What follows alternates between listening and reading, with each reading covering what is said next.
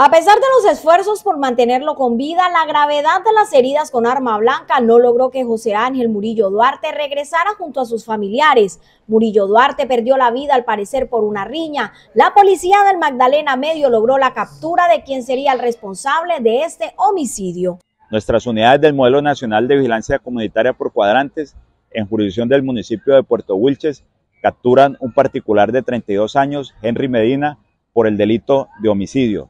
El hecho desafortunado se presenta en el barrio Las Granjas Bajo, donde la persona capturada sostiene una riña con arma blanca con un señor de 42 años, José Ángel Duarte Murillo, que por las gravedades de las heridas, cuando es trasladado a un centro asistencial, desafortunadamente fallece. Según las autoridades de policía, el sujeto capturado registró varias anotaciones judiciales. La persona capturada registra diferentes anotaciones judiciales por diferentes delitos, violencia intrafamiliar, lesiones personales, inasistencia alimentaria, amenazas, daño en recursos naturales y acceso carnal abusivo con menor de 14 años. Y con esto invitamos a toda la ciudadanía a que resuelvan sus problemas a través de los diferentes mecanismos, especialmente el tema de la conciliación con nuestras unidades de Policía Nacional o en las diferentes comisarías. Los hechos ocurrieron en el sector conocido como el aeropuerto en el municipio de Puerto Wilches.